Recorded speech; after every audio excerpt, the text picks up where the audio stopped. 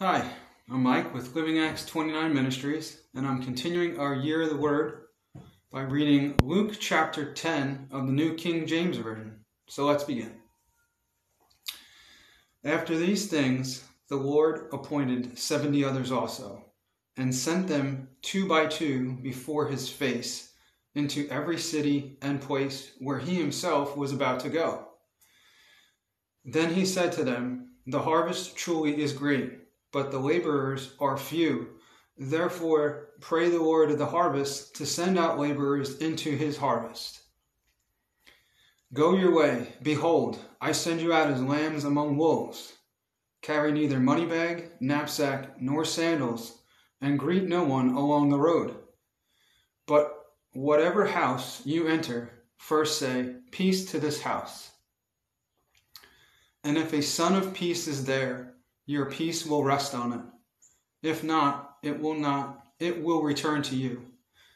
And remain in the same house, eating and drinking such things as they give, for the laborer is worthy of his wages. Do not go from house to house. Whatever city you enter, and they receive you, eat such things as are set before you, and heal the sick, and heal and heal the sick there, and say to them, the kingdom of God has come near to you. But whatever city you enter, and they do not receive you, go out into the streets and say, The very dust of your city, which clings to us, we wipe off against you. Nevertheless, know this, that the kingdom of God has come near you. But I say to you that it will be more tolerable in the day for Sodom than for that city. Woe to you, Chorazin! Woe to you, Bethsaida! For I the mighty works which were done in you had been done in Tyre and Sidon. Then they would have repented long ago, sitting in sackcloth and ashes.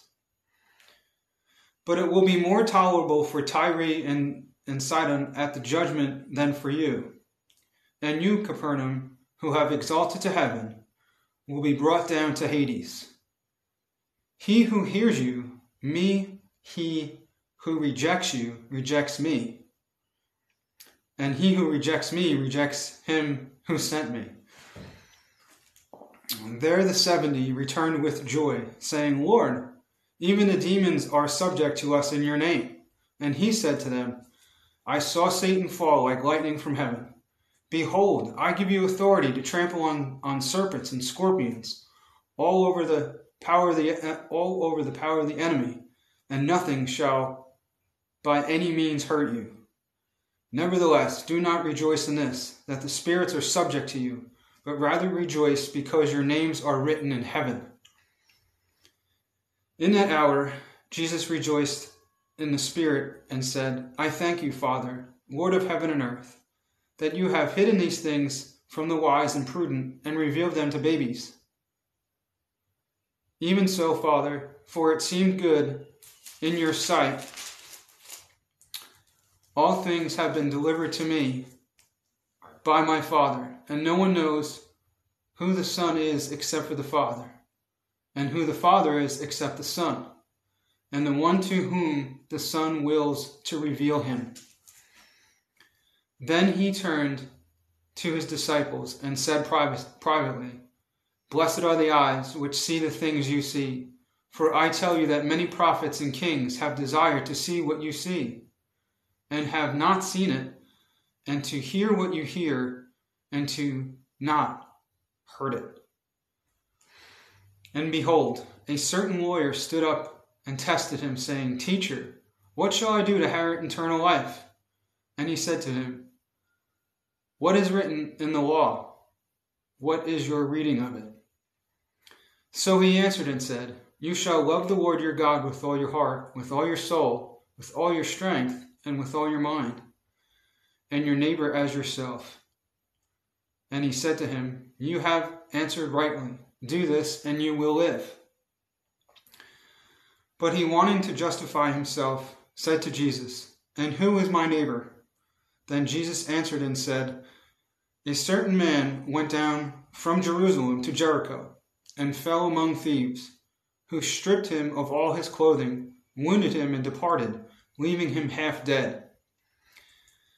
Now by chance, a certain priest came down the road, and when he saw him, he passed by on the other side.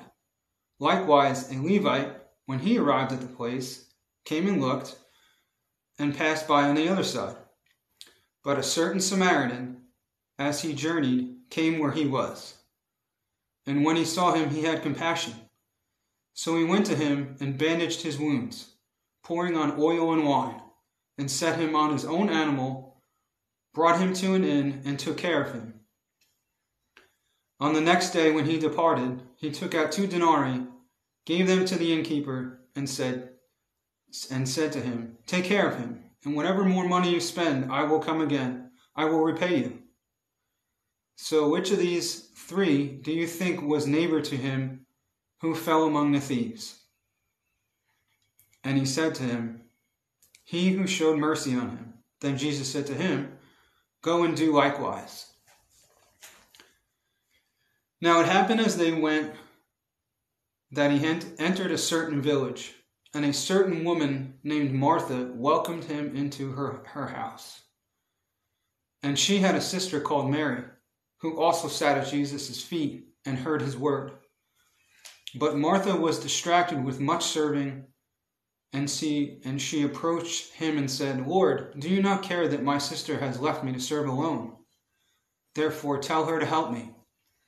And Jesus answered to her and said, Martha, Martha, you are worried about you are worried and troubled about many things, but one thing is needed, and Mary has chosen that good part which will not be taken away from her. Thank you for joining me today, and please come back tomorrow. Have a blessed day.